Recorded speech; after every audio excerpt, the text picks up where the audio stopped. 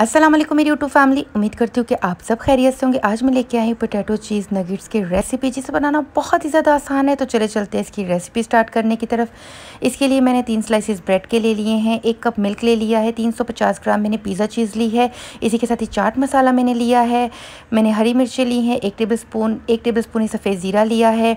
और half tea spoon मैंने इसमें जो है वो गार्लिक पेस्ट लिया है। एक टेबल स्पून हम इसमें नमक का इस्तेमाल करेंगे और 250 ग्राम मेरे पास पिज़्ज़ा चीज़ है और मैश किए हुए मेरे पास पोटैटोज़ हैं। जो कि तीन अदद हैं। और मैंने सबसे पहले जो है ब्रेड स्लाइसिस को दूध के अंदर डिप कर दिया है ताकि जो ये जो ब्रेड स्लाइसिस हैं अच्छे से सॉफ्ट हो जाएँ और फिर इसके बाद जो है वो हम इसे इस्तेमाल कर सकें। इसी के साथ ही अब चाट मसाला, गार्लिक पेस्ट और हरी मिर्च जो है वो बारीक चॉप की वो ऐड कर लेंगे, चीज़ ऐड कर लेंगे। आप चाहे तो आप यहाँ पर चैटर चीज़ या मोइजरेला चीज़ का इस्तेमाल भी कर सकते हैं।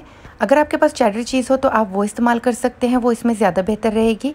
अब यहाँ पे जो है वो हमारी ब्रेड अच्छे से सॉफ्ट हो चुकी है। अब हम इसमें से सारा दूध एक्स्ट्रा जो है वो निकाल लेंगे और बाकी का जो है वो हमने जो ब्रेड के अंदर है, वो हम उसी तरह से यूज़ कर लेंगे। जितना आप निकाल सकते हैं, आप निकाल लें। और अब जो है वो हमने सारे मिक्सचर को अच्छे से मिक्स कर लेना है।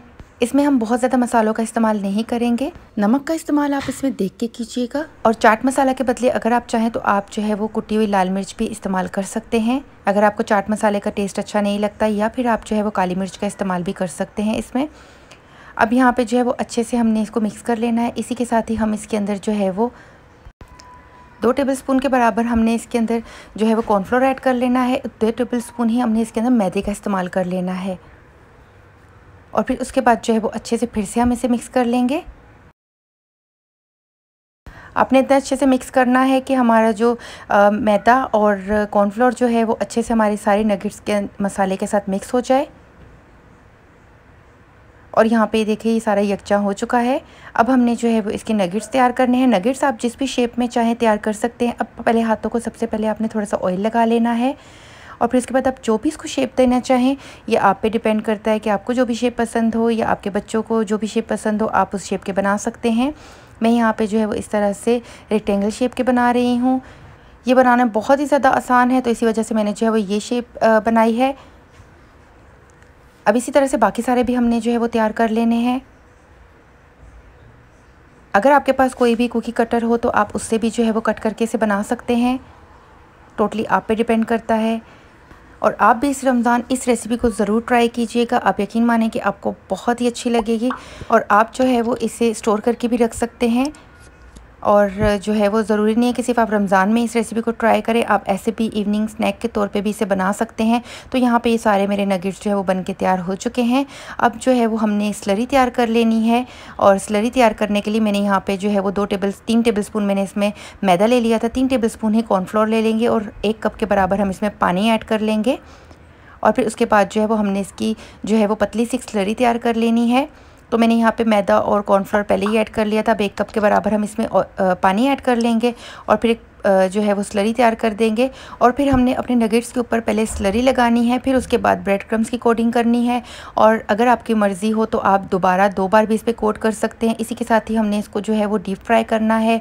तो डीप फ्राई करने के लिए हमें जो है वो ऑयल की ज़रूरत होगी तो मैं यहाँ पर दो से ढाई कप के बराबर ऑयल ले लूँगी। अब यहाँ पर देखिए मेरे ब्रेड क्रम्स भी आ चुके हैं और यहाँ पर जो है नगेट्स को हमने सबसे पहले जो है वो स्लरी के अंदर डिप किया, फिर ब्रेड क्रम्स के अंदर डिप करेंगे और फिर उसके बाद जो है वो हमने दोबारा से इसको ब्रेड क्रम्स के अंदर डिप कर दिया।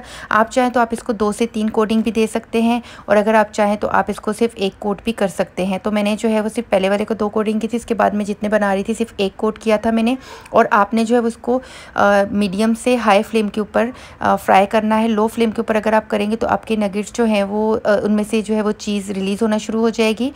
तो मैंने जो स्टार्ट में जो पहले फ्राई किए थे उसमें मैंने आ, उसको जो है वो मीडियम फ्लेम के ऊपर मीडियम टू लो फ्लेम के ऊपर फ्राई किया था तो उसमें जो है वो इसकी चीज़ रिलीज़ हो गई थी। तो फिर इसके बाद जितने मैंने जो फ्राई किए थे मैंने मीडियम टू हाई फ्लेम के ऊपर किए थे। तो उससे जो है वो मेरी चीज़ बहुत ही अच्छे से इसके अंदर ही रही। तो बस आप जो है इसको फ्राई करते हुए थोड़ा सा ख्याल रखिएगा। अब यहाँ पे इसी तरह से बाकी सबको भी जो है मैं कोट करती जाऊँगी और कोट करने के बाद आप अगर चाहें तो आप इसको फ्रीज़ भी कर सकते हैं। किसी भी जो है वो जिप बैग के अंदर डाल के या किसी भी जो है वो एट टाइट जार के अंदर बॉक्स के अंदर डाल के आप इसको स्टोर कर सकते हैं। तो ये देखिए यहाँ पर जो है मेरी फ्लेम लो थी तो उसी वजह से चीज़ रिलीज़ होना शुरू हो गई। अब इसके बाद मैं जितने भी जो फ्राई करूँगी उसको मैं हाई फ्लेम के ऊपर मीडियम टू हाई फ्लेम के ऊपर फ्राई करूँगी तो उसमें जो है वो चीज़ रिलीज़ नहीं होगी। तो यहाँ पे पहले जब इसकी एक साइड डन हो जाएगी तो ही हमने इसकी साइड को भी चेंज करना है ये आप ख्याल रखिएगा।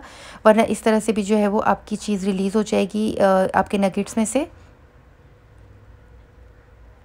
तो बस सारे जो है वो हम इसी तरह से फ्राई करते रहेंगे। और जितना आपका डिज़ायर गोल्डन कलर है वो आने तक आपने इसे फ्राई करना है। अगर आपको लाइट गोल्डन कलर पसंद है तो आप उसे लाइट गोल्डन कलर आने पे ही जो है वो आ, निकाल सकते हैं। तो इवर्स है ना कितनी आसान सी रेसिपी और झटपट बन जाने वाली रेसिपी तो इसी के साथ ही मुझे दीजिए इजाज़त इन ताला मिलती हूँ, एक नई और बहुत ही आसान सी रेसिपी लेके इस रमज़ान के लिए। तब तक के लिए अपना बहुत ख्याल रखिएगा, अपने प्यारों का बहुत ख्याल रखिएगा। अच्छी अच्छी रेसिपीज़ के लिए मेरे चैनल को विज़िट करना ना भूलिएगा। तो मुझे दीजिए इजाज़त, अल्लाह हाफिज़ फ़ी अमान